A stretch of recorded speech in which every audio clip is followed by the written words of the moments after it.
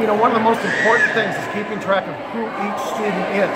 So what you do is you get a database from the school ahead of time. You import it into whatever software you're using, whether it's Flow, ClickMatch Online, whether it's ImageMatch, whether you're using Canon 7Ds or Opticon scanners. You need to have that barcode scanned. This is it. Each student, then at this school, we got the data ahead of time. We created individual barcodes for each student. Crucially important.